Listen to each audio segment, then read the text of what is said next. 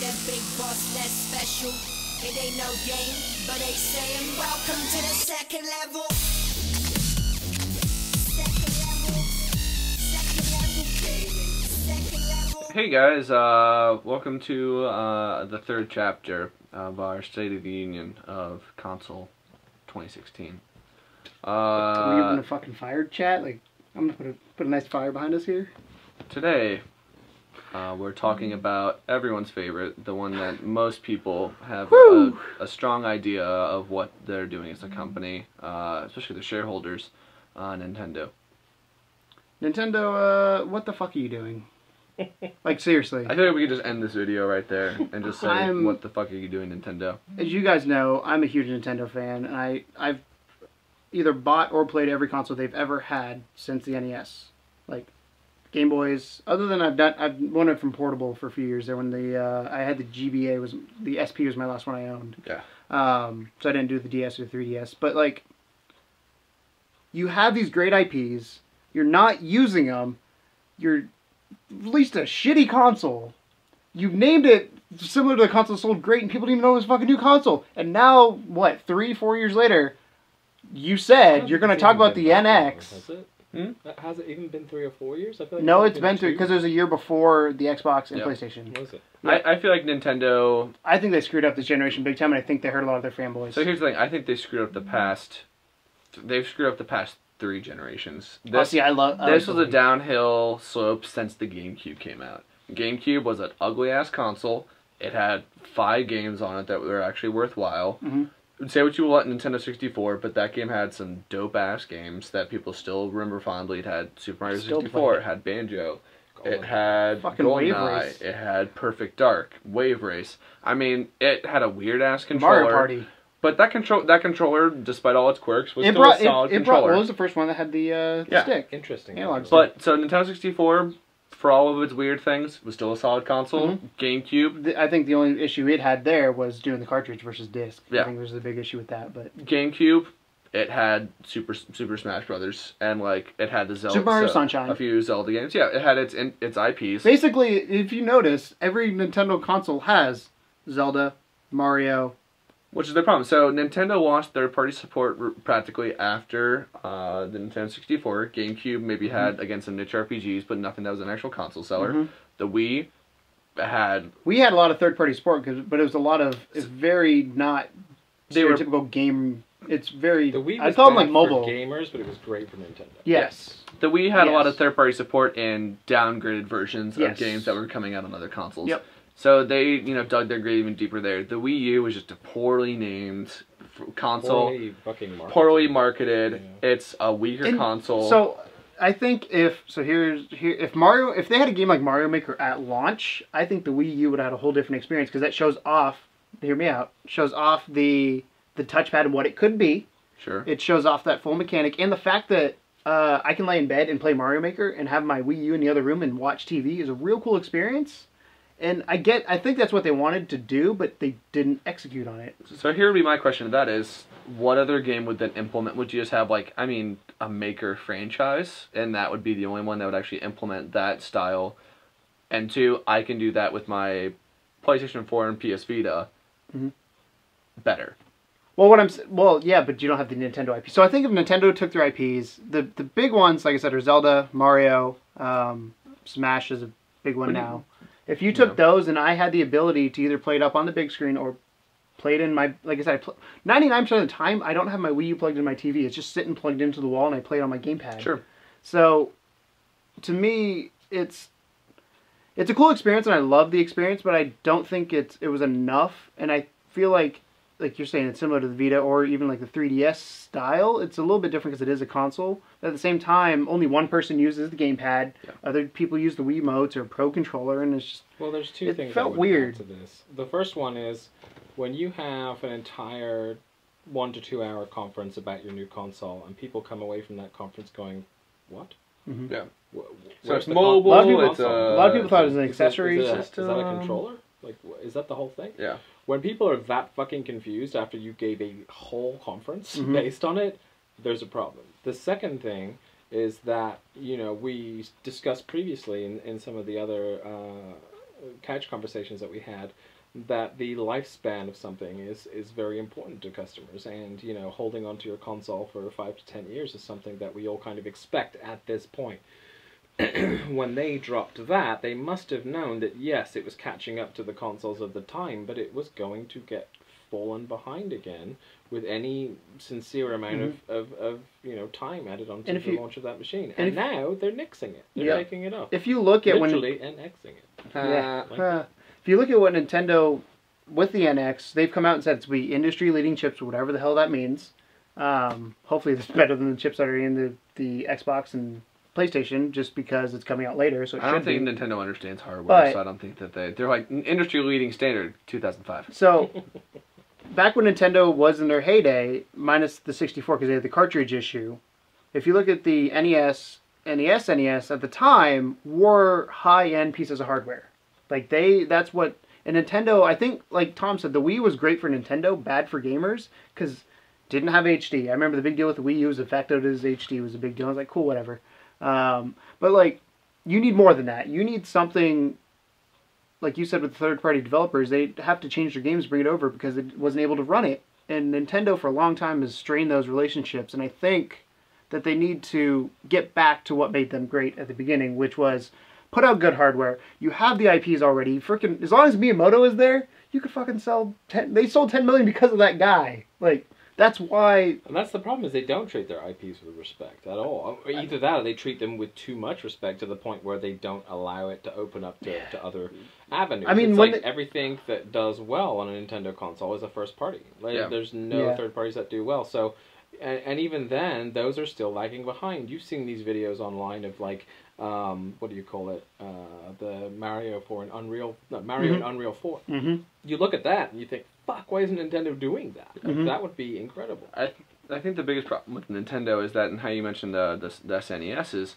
so they used to focus on being a good video game company. They've traded quality product for all inclusiveness, Mhm. and I think that once you as a tech company start to change your mindset from, or at least a video game company from, we want to cater to our, our, our culture of video gamers and instead go to we want to cater to the moms and dads and grandpas and, and two year olds are playing it you can't have your cake and eat it because no grant like no parent is going to buy a six hundred dollar console Mhm. for their three year old you know kid. So, getting to the point of like getting all inclusive, I think that's where the handheld console comes in, or the handheld systems come in, because my first console, I don't know what you guys, was a Game Boy.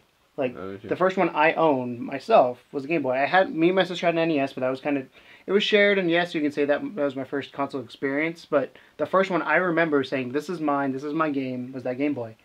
And I remember having it till I freaking the back. I had all taped up with the batteries and all that in there, and just I think they need to take the portables and shoot to the younger audiences. I get that a lot of people's older people do like the portable experience, but at the same time, you got to target your audience. You can't just say I'm going to hit everybody I can. There's got to be some sort of marketing directive that you're going to send to. And I think Nintendo sometimes, I think the issue they have right now is they're known for these whimsical, cartoony looking games that, in my opinion, tend to hel- help hold up pretty well over the test of time because they don't go for hyper realistic, which is what they're known for. But you can combine that like look at Wind Waker, Mhm. where it's a hardcore game Yes, with so, that yeah. whimsical So style. you imagine make the gameplay match with it, and it's it's easy in my opinion for for them to do it where they're like, we're gonna make a Mario game that six year olds can play, and the concept is real simple. So an example of Mario sixty four, you jump in the painting, the star shows up, you wander around this world, you find that. Yeah. But as you get older, as I play it now, I go and I'm a collector in that game, so I want to go collect all the stars, not just advance to the next stage, go beat Bowser. Okay, beat Bowser, I'm done. I want to get all what is it, 150 or whatever it is stars. I don't know, 120, 120 stars. So Yeah. I think that's one thing they need to do is kind of like target their audience and say, hey, this is our audience. This is who we're building this game for. But also look at ways to expand it without saying we're just going to throw everything at the wall, like Splatoon. It's a good example of something they did well. Yeah. Splatoon is very childlike, and a lot of kids like playing it, but it's also got qualities to it that make it fun for the game. If a game's good, a game's good. Sure. I think Period. Nintendo has a lot of similarities with Disney in that sense. Is Mm-hmm. that, like there's a lot of Disney movies that you can go into as an adult and watch and enjoy, and also as a kid to watch. And for different enjoy. reasons. And they're very, very similar companies in a lot of ways. I'm surprised Disney hasn't tried to buy Nintendo yet.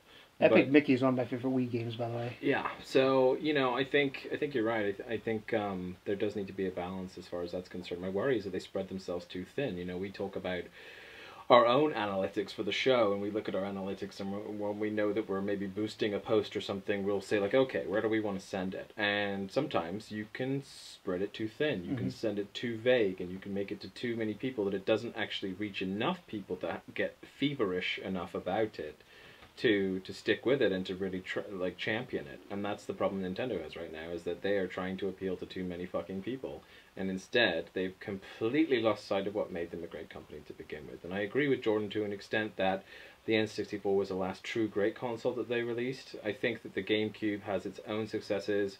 Um, but was weird as fuck. overall, overall, the GameCube was was not a successful console, and then the uh, the Wii was a successful console, but for all the wrong reasons. Yeah. The Wii U, I'm just, I mean, the fact that we're already talking about another Nintendo console and that they seem to have pulled support for it is just, it's it's depressing. And there's only so many of those types of mistakes that a company that size can make before the the, People the consumers are going to be like, well, And the only reason the only reason people have stuck around is because the IPs are so strong if they use them, and it's and it's crazy because I've said it before and I'll say it again. If Nintendo goes back and Metroid, Mario, Zelda, they probably can't do Banjo because they don't. They're actually doing a because new Rare. Metroid game that looks like shit. So Oh. it's But like, a two, the- it was like a 2D iOS game, but Even on with the mobile Yeah. stuff as well, like they said they were going to release stuff to mobiles. Everyone thought, "Cool, Super Mario World on my iPhone." Nope.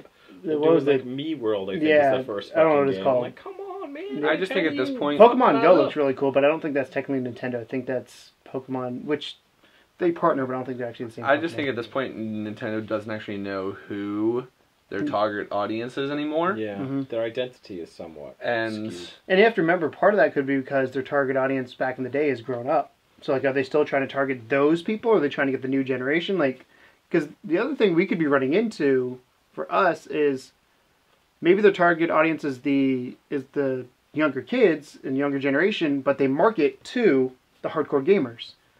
Doesn't work. If you're gonna if you're gonna target little kids, you don't want to go. I mean, well, what for us when we were kids? I played Mario and Zelda and all that stuff, and I was fine. I know, but what I'm saying is like when you didn't watch E3 though growing up.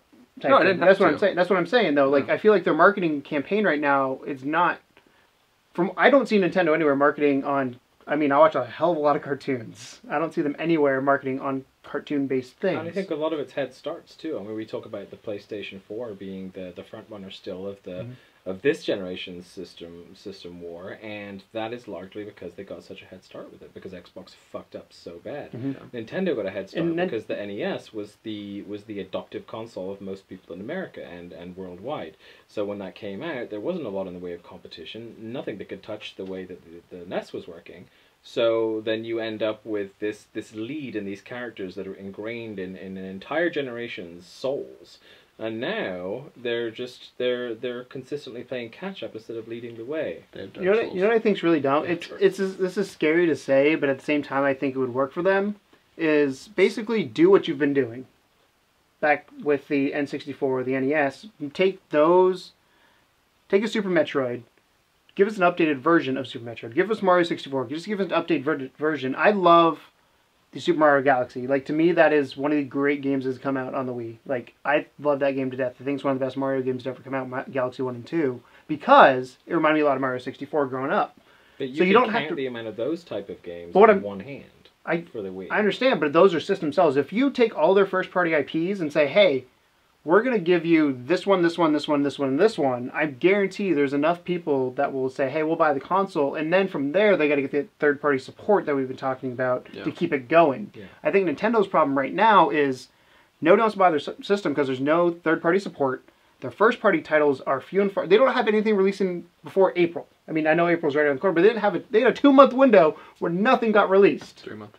three month three month window where nothing got released and i'm just like why and their last release that happened was fucking mario tennis which sucked balls i'm I'm, i can't tell i love nintendo but they're tearing my heart apart when it comes to shit like this because like like an abusive stepfather. Oh my god! I'm just like, just do what you did before. I will sell buy your it again. IPs to companies that know how to do things I just- and let them make good games with them. Just how hard is it to redo Mario? Like Mario Tennis is literally the exact same fucking game, just updated. Just do the same thing you did in the N64. Just give me a new version of it, and I would buy it. But again, they don't know who their audience is, so they don't know how to make it.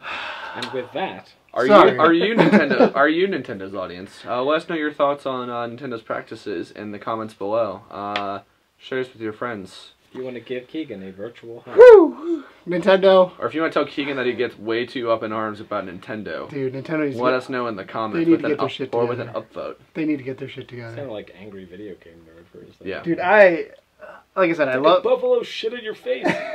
I love Nintendo. But that Buffalo is Mario. I love Nintendo. They're fucking up. I think they can fix it, but they gotta fix it. They gotta fix it quick. See, I, Otherwise, I don't think I don't think Otherwise Nintendo they're can, fanboys I don't think Nintendo can fix it. oh, their fanboys like me are very hard. So the twelve of you that exist. Oh, there's more. Than, there's. Te- I mean, there's 10 million units out there. all for right, Wii U, all right, so- all right. Save it for next But- time. Yeah.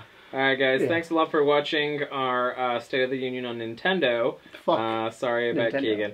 And uh, we'll see you next couch conversation uh, when we discuss something else, I'm sure.